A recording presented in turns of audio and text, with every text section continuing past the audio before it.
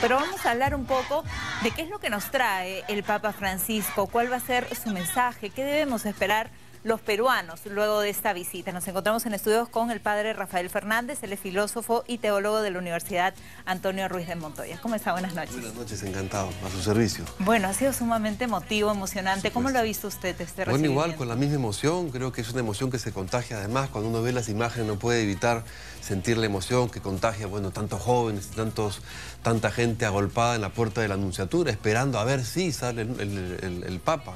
Eh, y lo cual es un albur, por supuesto, porque no sabemos si saldrá. Yo espero que, salga, aunque sea un momentito. Ojalá. Pero es verdad que también se le ha visto pues un poquito cansado, ¿no? Se le ha visto cansado. Muy cordial, eh, muy... muy no eh, pierde la sonrisa, pero se le tiene la sonrisa ahí, pero se le ve, se le ve cansado, ¿no? Ha, hecho, ha seguido todo el protocolo, ¿no? Pero al mismo tiempo daba la impresión de querer llegar pronto a, descansar. Sí, por lo menos a sentarse un momento. Sí, sí. Me comentaban que los periodistas mismos que han ido viajando con él, que son mucho más jóvenes que él, tiene ya más de 80, este, decían que estaban agotados. Y bueno, el Papa es la figura, por lo tanto es el, que está más cansado sin duda alguna. Y ahora, bueno, tiene por delante tres días intensos de viajes y de misas y de discursos. O sea que, bueno, Claro, tiene que descansar. Bueno, lo que se anuncia es que a las 8 de la noche él estaría saliendo por el balcón, eh, por el balcón, ojalá que así sea, vamos a estar, por supuesto, a la expectativa y muy pendientes. Eh, las imágenes que yo he visto, para mí han sido impresionantes. Yo veía las imágenes en Chile y veía, sí, mucha gente, muy contentos, pero la alegría que se ha vivido acá, la cantidad de gente solamente para recibirlo, yo veía las imágenes del traslado por toda la avenida Fawcett, no había ni un solo espacio donde no hubiera alguien, alguna persona esperándolo por toda la avenida La Marina, la avenida Brasil.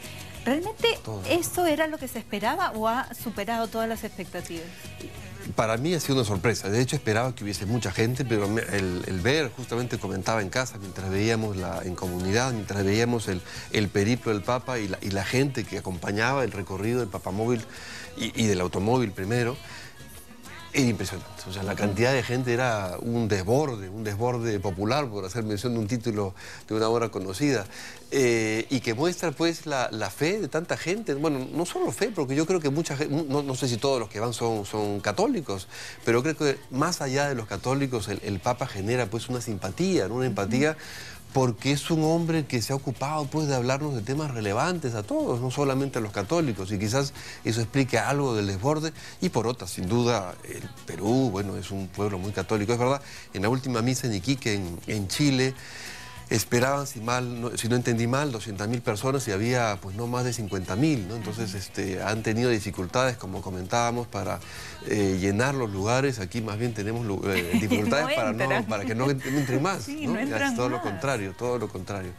Pero creo que expresa, repito, este, esta emoción de la gente, eh, este deseo de ver al Papa, aunque sea de lejos, pero bueno, aunque lo veamos de lejos, el ambiente se contagia, ¿no? Y creo que eso se trata de compartir ese espacio y, por supuesto, pasar de la emotividad también a la dimensión reflexiva, también pasar a eh, la dimensión más receptiva también del mensaje del Papa, por supuesto. Claro, lo primero que yo pensé cuando veía estas imágenes era cuánto lo necesitábamos los peruanos, cuánto necesitamos un mensaje de paz, que alguien traiga un, mensaje que nos dé algo de calma, ¿no? Mm.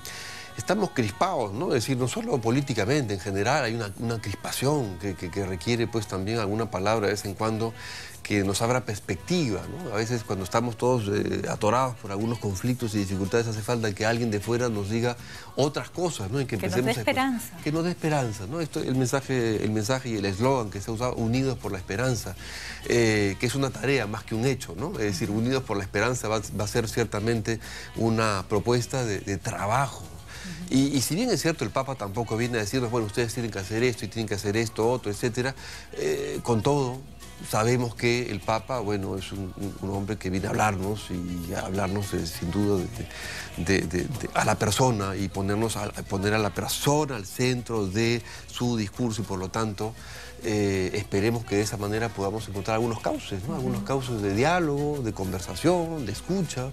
En el Perú a veces tengo la impresión de que nos escuchamos poco y claro, si no nos escuchamos, pues es muy difícil entendernos.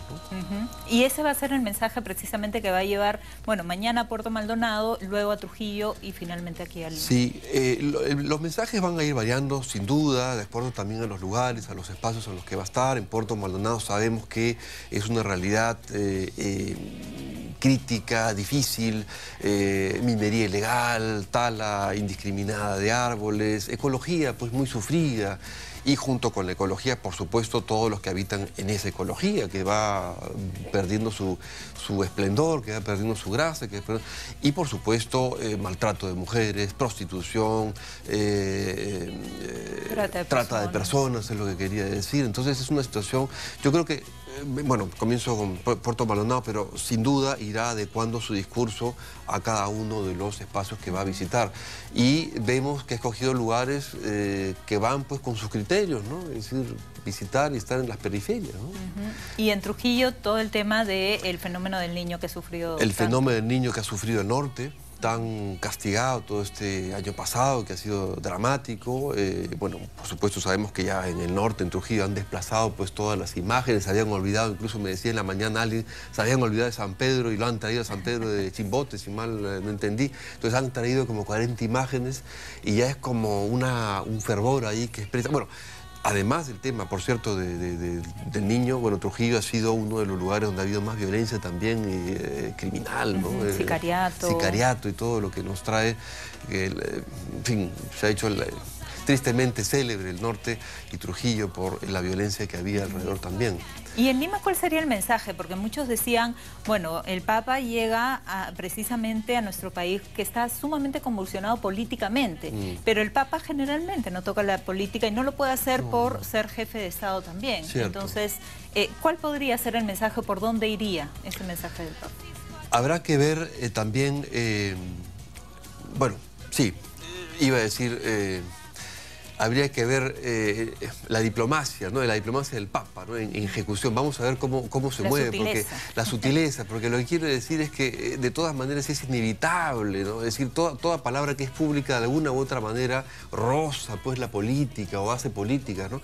Por supuesto no hará política partidaria, por supuesto no hará política en el sentido, en el sentido que en, este momento conocemos todos por, por las situaciones eh, un poco crispadas, pero veremos pues su margen de maniobra, ¿no? Eh, eh, porque, está en una situación peliaguda, pues la, la, capital en este momento, que representa todas las, tensiones políticas.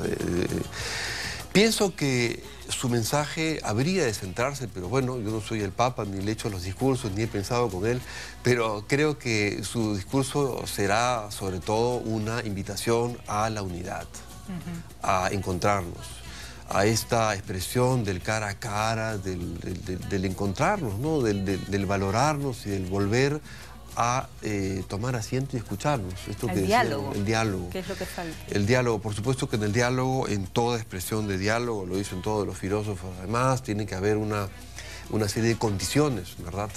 Quizás el Papa puede hacer alusión a cuáles son las condiciones para que haya diálogo, cuáles son las condiciones que tenemos que poner para que haya diálogo. Eh, y en ese sentido, eh, esperemos, esperemos que, que, hará el Papa, ¿con qué nos sorprenderá? Porque eso sí, estoy seguro, alguna cosa hará para sorprender. Eh, siempre sorprende, pues, ¿no? por ahí alguna frase ingeniosa, ¿no? para, no solo para provocar risa y simpatía, sino para provocar también el pensar. Creo que es un Papa que nos, ayuda a pensar, nos, trata de, hacer pensar también, ¿no? Es decir, de no tener este, esta costumbre de tener la fe sin que sea negativo necesariamente, pero a veces nuestra fe puede ser un poco pasiva, ¿no? La fe del que espera, la fe del que espera eh, ser animado, la fe del que espera, no, más bien como hemos visto los jóvenes, ¿no? Eh, esa es la fe que quiere el Papa, ¿no? La fe que sale, ¿no? Entonces, quizás por allí pueda ir el mensaje. Y él siempre ha sido muy cercano a los jóvenes. Sin duda. Hemos visto en, todas partes, en todos los países, se encontrado con los jóvenes, en un momento para ellos. Eh, habla de soñar a los jóvenes, habla de interpelar, no dejen de interpelarnos, ¿no? es una palabra fuerte, ¿no? Eh, quiere que los jóvenes, o sea, es algo típico de los jóvenes, y quiere que los jóvenes hagan aquello que es característico de ellos, la interpelación. Puede ser molesta la interpelación, cierto, a veces, pues, pero este Papa acoge todo y, ¿Y, por qué? Porque es un papa que le gusta que haya relaciones honestas, ¿no? sinceras, es un, papa transparente, entonces eh, eh, justamente por eso el joven que se caracteriza por decir la verdad, a veces eh, sin pelos en la lengua, es el que es capaz de interpelar a la realidad, a las instituciones, a la política, a la economía y por supuesto a la iglesia.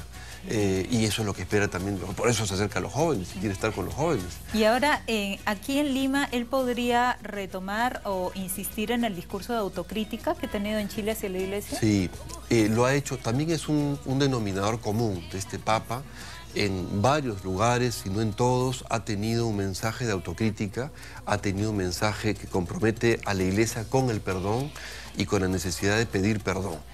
Eh, al mismo tiempo, eh, él, digamos, comienza dando el ejemplo, ¿no es cierto?, pidiendo perdón y haciendo autocrítica eh, respecto de diferentes temas, ¿no? Es decir, sabemos que la Iglesia no es una institución perfecta, lejos de eso, es una institución que carga con sus pobrezas, pero al mismo tiempo dice, bueno, pero quiero que la iglesia sea una madre eh, joven, ¿no? Él lo dijo en Chile, quiero que sea una madre joven, es decir, una madre que sea capaz de no solo cuidar a los suyos, sino salir al encuentro de los suyos. Bueno, eso lo digo yo interpretando esta metáfora tan, tan bella del Papa, pero de eso se trata, de hacer ciertamente una autocrítica para poder al mismo tiempo invitarnos a, todos, bueno, a todos a hacer un trabajo de autocrítica para salir y hacer nuestro trabajo también. Y en este mensaje en el que va a señalar algunos puntos críticos que tiene nuestro país, por ejemplo, lo veníamos mencionando en Puerto Maldonado, todos los problemas de trata de personas y todo, ¿va a ser un, discurso eh, de, esperanza, un, llamado a la esperanza o va a ser más bien un llamado de atención a ciertas autoridades por permitir precisamente que esto continúe en el país? Es una pregunta peliaguda porque efectivamente la, segunda alternativa supondría una vez más introducirse un tema tan difícil como la política. Em, yo vaticino que el Papa buscará la manera de hacer ambas cosas. Vaticino que el Papa tratará de decir hace falta, eh, por una parte, em, la esperanza, hace falta mirar hacia adelante, hace falta construir hace falta crecer, que son palabras que suele decir el Papa, pero al mismo tiempo probablemente lo que es más fácil de hacer para el Papa es comprometer a la Iglesia y hacer responsable a la Iglesia frente también a una situación como, tan crítica como esta. Y a través de la Iglesia decir que la Iglesia se convierta en un actor de la sociedad civil para transformar esas situaciones tan dramáticas y tan tristes. ¿no? Pero me parece que es más fácil para él, desde el punto de vista diplomático y político, apelar a su Iglesia para que esa Iglesia sea el motor como sociedad civil de algo que tiene que cambiar. En Puerto Maldonado, en Trujillo, en el Perú en general. Y es un mensaje que va dirigido a todos, ¿no? Porque, por ejemplo, en Chile escuchaba cuando fue a esta cárcel de mujeres y se dirigía a ellas y les decía, eh, tengan ese mensaje de esperanza porque ustedes están encerradas en, en este lugar, pero no están presas de corazón. Así, que tienen que continuar adelante. Y cuando se dirigía a las autoridades les decía, tenemos que hacer que estas mujeres se reinserten a la sociedad, no podemos permitir que queden aisladas. Entonces es un mensaje que va dirigido absolutamente para todos. Es verdad. Eh, eh, fue uno de los encuentros más bellos, por cierto, en, Chile, ¿no? Este encuentro con, las personas detenidas, con las mujeres detenidas. Eh, y ahí vemos, eh, en efecto, que el mensaje del Papa no está encorsetado, digamos, o dirigido únicamente al ámbito de su iglesia, de la iglesia católica, sino que es un mensaje que desborda esos límites y se dirige en realidad a toda persona de buena voluntad, a toda persona que quiera, que crea en el bien común, a toda persona que crea que podemos construir una sociedad más justa, más justa, sobre todo subrayo este, este adjetivo, eh, y, también musulmana. Sin duda es porque este Papa ha puesto en el centro de su preocupación a la persona. Entonces cuando se pone a la persona, bueno, habla por supuesto desde la fe, pero a todo el mundo, más allá de la iglesia. Ahora, ¿qué hace que el Papa Francisco tenga esta acogida? Lo que hemos visto, lo que estamos viendo en esas imágenes, ¿qué hace? Sí. ¿Qué hace para lograrlo? Bueno, es un poco, es carisma, por una parte, es carisma, es eh, eh, empatía y sobre todo una larga experiencia pastoral. Algo que quizás no hemos subrayado lo suficiente. Se ha escuchado, le hemos dicho algunos, pero habría que subrayar todavía más esa experiencia pastoral de años. Es decir, lleva años metido entre la gente, lleva años eh, compartiendo sus espacios, sus esperanzas, sus sufrimientos, hablando con la gente de tú a tú, de sus problemas de casa, de sus problemas económicos, de su canasta familiar.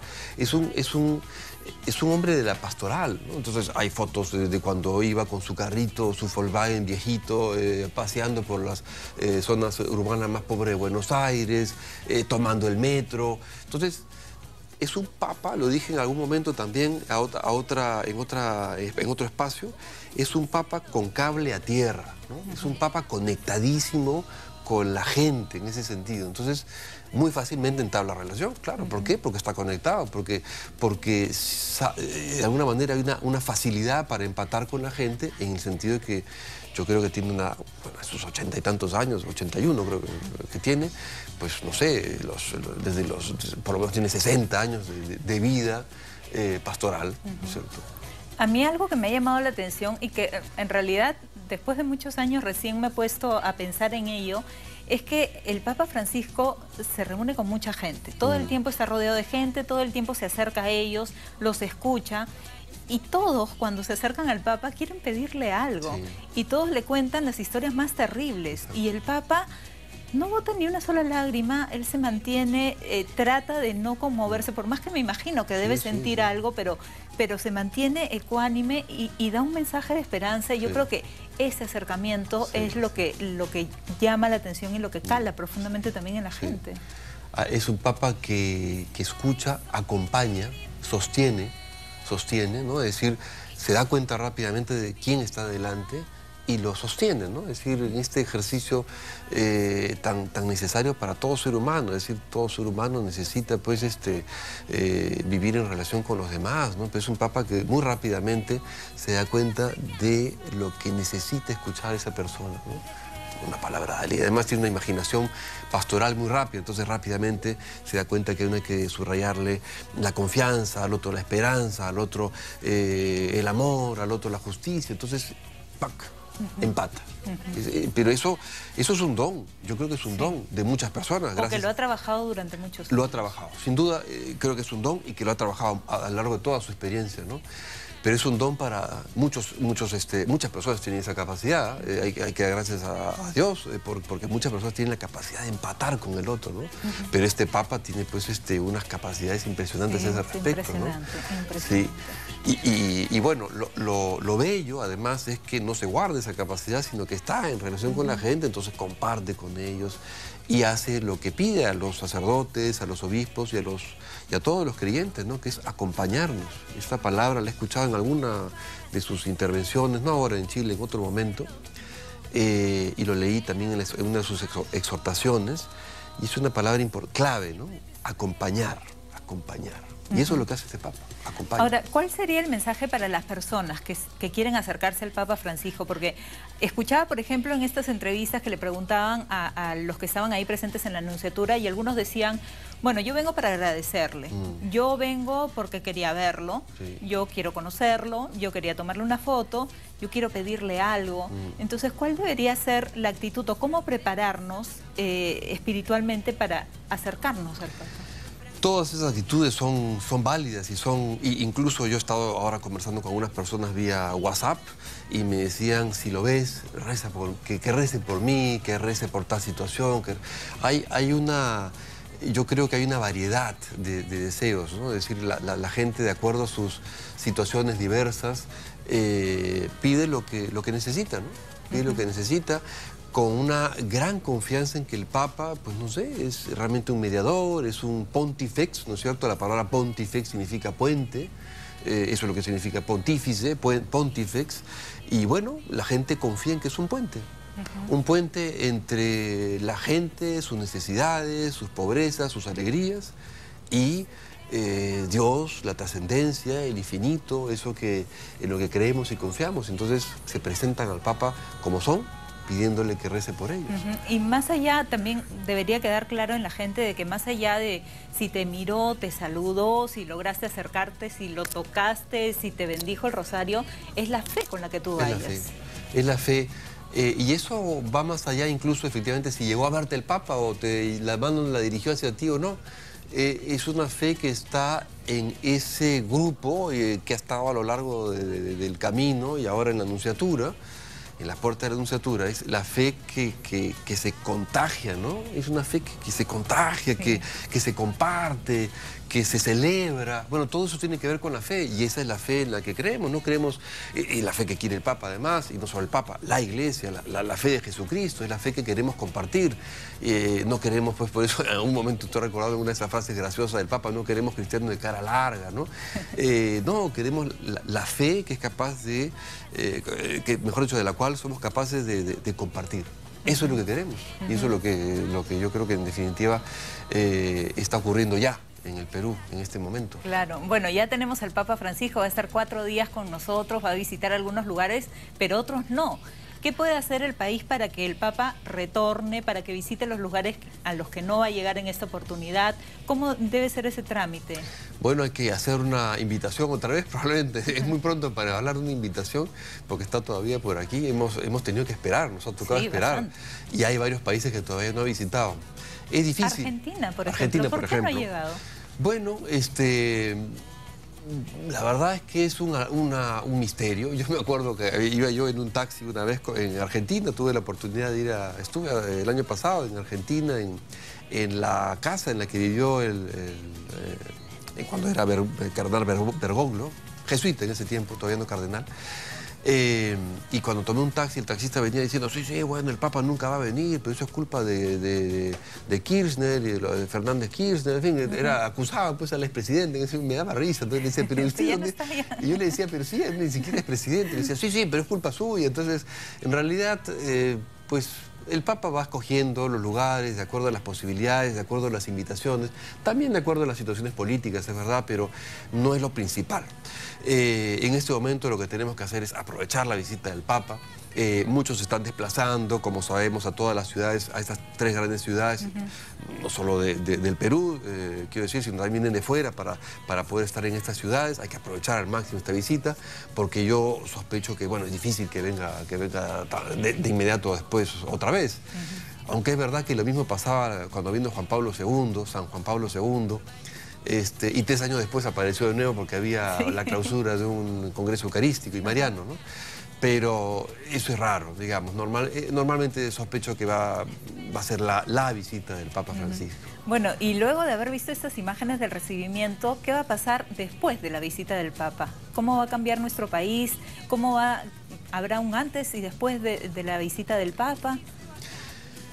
Es una pregunta que cuya responsabilidad recae en nosotros, ¿no? es decir, en los, eh, en los que estaremos atentos a su mensaje ya no depende del Papa, depende de nosotros, depende de la manera como hayamos acogido su mensaje, de la manera como leeremos sus discursos y homilías, porque imagino que, como se hizo con Juan Pablo II, poco tiempo después se, publicará, imagino sus, se publicarán sus homilías y sus discursos, eh, y, y repito, todo dependerá ya de nuestra responsabilidad y nuestra capacidad para ser permeables a la palabra del Papa, eh, alguno podría decir, caramba, si el Evangelio dice tantas de las cosas que repite el Papa y no cambiamos, mm. ¿qué podrá ser el Papa? Pero bueno, aquí tenemos la cercanía, pues por lo menos eh, física del Papa que nos anima y nos trata de complementar y hacer más, llegar de manera más eh, carnal todavía, ¿no? El, Evangelio, ¿no? pero creo, repito, que tampoco es un mago el Papa no, no, no creamos que es un mago, ni el Evangelio ni el Papa es un mago, pero, por eso repito, dependerá de nuestra capacidad para pasar, por eso decía al inicio, del emotivismo y de la emoción, que está muy bien, a, y de la dimensión celebratoria, a asumir de manera más racional lo que pueda decir, empezar a ver cómo cambiar las cosas. Padre, si me permite, vamos a ver imágenes de los exteriores de la Anunciatura Apostólica porque vea la cantidad de gente que hay, siguen llegando algunas personas y bueno, los bomberos están realizando un trabajo que realmente ha desbordado las expectativas e incluso me comentan que la Guardia de la Juventud, los jóvenes que veíamos hace algunos minutos, están colaborando con las labores de los bomberos porque también hay que tener en cuenta las largas horas de espera que han tenido todas estas personas.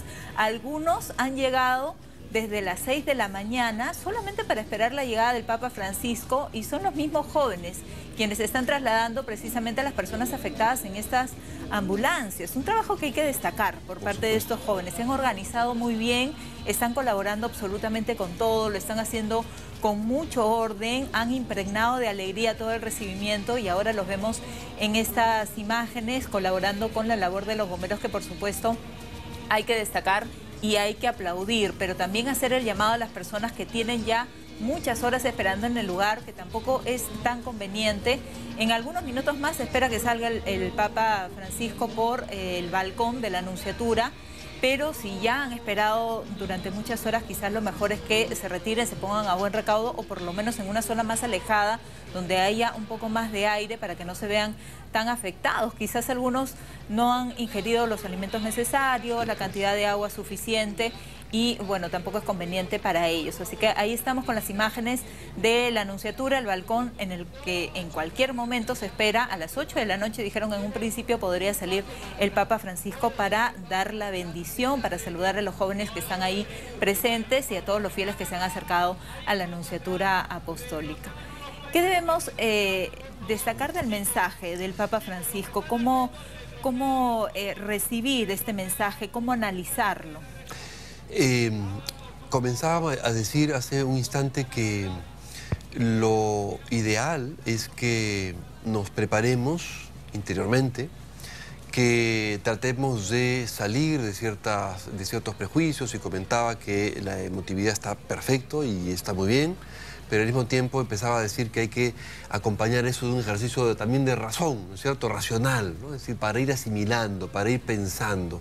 El Papa nos deja siempre tarea, en todas partes, en todas partes por donde ha pasado el Papa, siempre deja tarea. ¿No? Así como antes en el colegio no dejaban tarea, bueno, aunque ahora, ahora parece que ya no es ideal pedagógicamente dejar tarea, ¿no? Así parece, pero eh, el Papa siempre deja tarea. Además de rezar por él. Además de rezar por él, que es una insistencia permanente, es como el cantus firmus, ¿no? Es decir, todo el tiempo dice, recen por mí, recen por mí, bueno, por algo lo dice, es decir, porque está cansado, porque, porque sabe que la responsabilidad que tiene es enorme, porque tiene sobre sus hombros una responsabilidad inmensa, eh, y es consciente de su pobreza, como un hombre humilde, es decir, lo que toda persona en un cargo público debería hacer es pedir lo mismo, recen por mí, ¿no es cierto? Porque es la, conciencia crítica respecto de sí, de que tengo un cargo que me pesa. Bueno, eh, pero decía entonces que hay que acompañar eh, esto de, una apertura racional para hacer la tarea.